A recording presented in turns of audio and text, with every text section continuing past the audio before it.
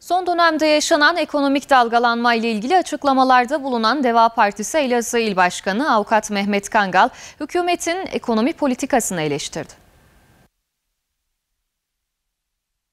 Deva Partisi Elazığ İl Başkanı Mehmet Kangal, hükümetin ekonomi politikasını eleştirerek iktidara gelmeleri halinde ülkenin yeniden inşa edileceğini söyledi. Kangal yaptığı açıklamada hükümet milletimizi bir bataklığın içerisine ikinci defa atarak faizcilerin para babalarının önüne halka atmıştır. Bankada parası olanlar hem faizini hem de dolardan gelecek olan kazancı devlet kasasına hortumla bağlamış ve o kasayı doldurmak için çalışan milyonlarca asgari ücretlinin, sanayicinin, esnafın, sokaktaki seyyar satıcının vergilerini bu insanlara vermeyi taahhüt etmiştir. Vatandaşımız ağır enflasyonun altında her geçen gün eziliyor. Esnaf dün sattığı ürünü ertesi gün sattığı fiyattan bile toptancıdan ve üreticiden geri alamıyor. Vatandaş doğal gaz elektrik fiyatlarından dolayı evlerini ısıtmaktan bile korkar durumda. Bütün bunların sorumlusu mevcut iktidardır. Hükümet yetkilileri vatandaşın içerisine girmekten o kadar uzaklar ki bütün bu gerçekleri göremiyorlar. Göremedikleri için de çare olma gayretine de giremiyorlar.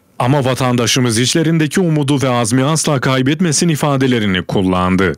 Kangal, ülkenin ekonomik sorunlarına çözüm olabilecek tek kadronun Genel Başkan Ali Babacan ve Deva Partisi olduğunu vurgularken, geçmişteki başarılar ve günümüzdeki güçlü söylemler bunun en açık göstergesi olduğu yönündedir. Ülkemizin hızla toparlanma ve yükseliş sürecine girmeye ihtiyacı vardır. Bizler bu yolda büyük bir özveriyle ülkemizin yeniden inşa aşamasında baş mimar olacağımıza inanarak çalışmalarımıza devam ediyoruz.